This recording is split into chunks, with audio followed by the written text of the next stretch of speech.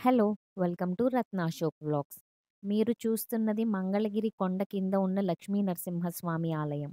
ఇక్కడ ఒక ప్రత్యేకత ఉంది. మన రాష్ట్రంలోనే అత్యంత ఎత్తైన గాలిగోపురం ఇదేనట. ఇది మెయిన్ ఎంట్రన్స్ అండి. విష్ణువుకి ఇష్టమైన ధనుర్మాసం కాబట్టి విష్ణు ఆలయాలన్నీ భక్తులతో నిండిపోయి ఉంటాయి. చాలా రష్‌గా ఉంది గుడైతే. ఎదురుగా చాలా పెద్ద ధ్వజస్తంభం ఉంది. గుడికొచ్చే భక్తులు ఇక్కడ దీపారాధనలు చేస్తున్నారు.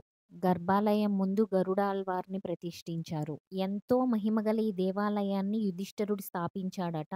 ఆ తరువాత కాలంలో శ్రీకృష్ణదేవరాయలు ఈ దేవాలయాన్ని పోషించాడు అనడానికి గుర్తుగా దేవాలయ ప్రాంగణంలో ఆనాటి శాసనం కూడా ఉంటుంది. ఇక్కడి గాలిగోపురాన్ని చాలా ప్రత్యేకంగా చెప్తారండి. మన రాష్ట్రంలో అత్యంత ఎత్తైన గాలిగోపురం ఇదేనట.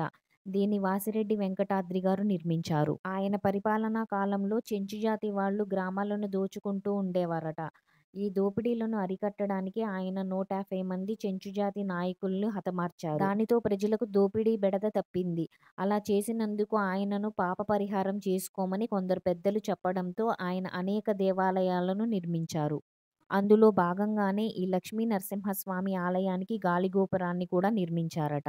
11 అంతస్తులతో 157 అడుగుల ఎత్తైన ఈ గాలిగోపురం మన రాష్ట్రంలోనే అత్యంత ఎత్తైన గాలిగోపురంగా చెప్తారు. ఈ వీడియో గనుక మీకు నచ్చితే లైక్ చేయండి. అలాగే మన ఛానల్‌ని ప్లీజ్ సబ్స్క్రైబ్ చేయండి. Thanks for watching the video.